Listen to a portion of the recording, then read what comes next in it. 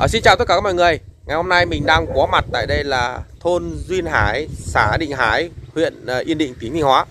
Ở đây à, có một cái rất là độc lạ, à, rất là tình cờ qua đây. Ở đây có một cái cây nhá mọi người nhá. Cái cây này là rất là hiếm luôn. Bây giờ mình sẽ quay cho mọi người xem cái cây này. Hiện tại bây giờ đấy là bác chủ đấy Bác, bác, bác chủ đang bế cháu đấy mọi người. Bây giờ mình sẽ lại mình quay cho mọi người xem cái cây độc lạ như thế nào. Đây mọi người, đây chính là một cái cây mà mình nghĩ cũng rất là độc lạ luôn. Nó tròn Như một cái à, mâm xôi. Đây có bác chủ đây mọi người.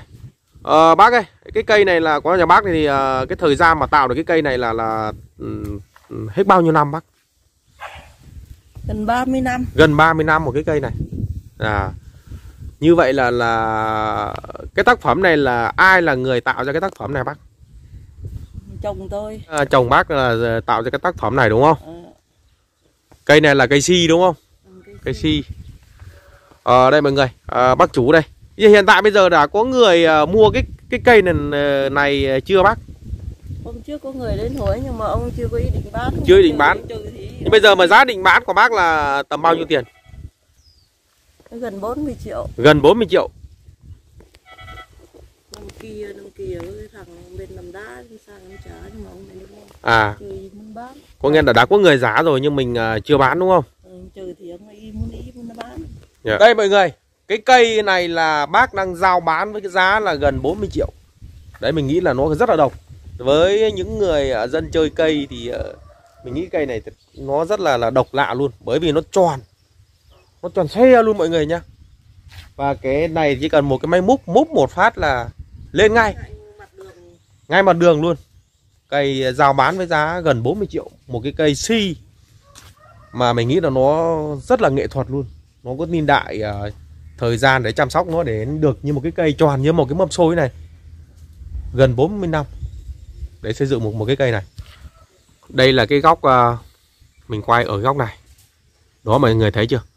Cái cái tác phẩm này nó tròn chính luôn. Không méo luôn quá đẹp.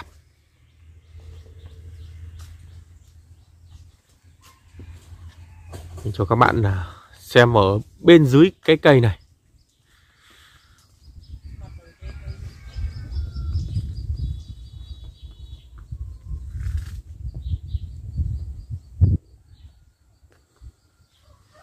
Mọi người nhìn các cái rễ của nó này, nó ôm vào nhau, nó xoắn vào nhau trông nó có một cái gì đấy khá là tâm linh.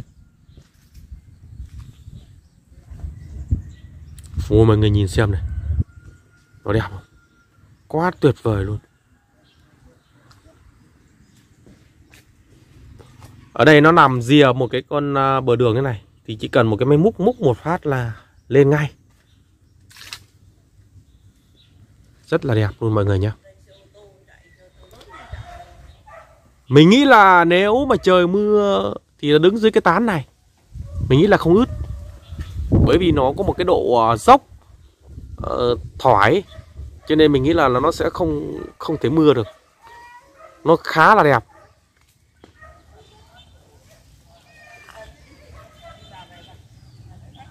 Đấy mọi người. Quá tuyệt luôn. Đấy góc từ góc xa mọi người nhé tròn xe luôn.